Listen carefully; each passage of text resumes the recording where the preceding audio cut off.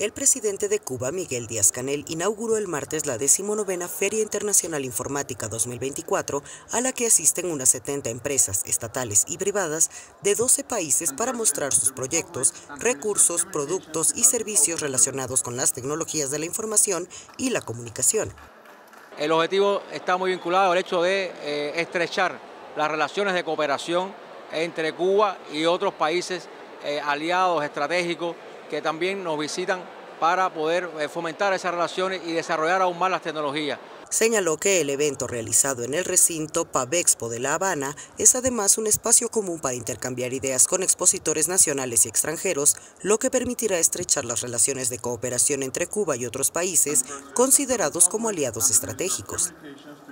González señaló que para la isla resulta fundamental el desarrollo de las telecomunicaciones y las tecnologías de la información que constituyen un eje transversal en el desarrollo económico de un país o en la calidad de vida de los ciudadanos.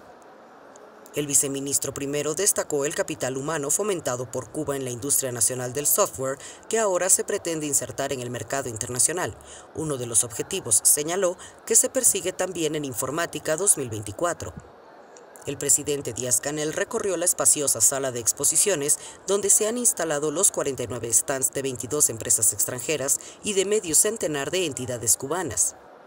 En el centro del salón, el stand de Cuba ofrece un panorama de las nuevas tecnologías en la isla con la presentación por diferentes entidades de 28 soluciones que han sido desarrolladas en el país y que sobresalen por su calidad, integralidad e impacto económico y social.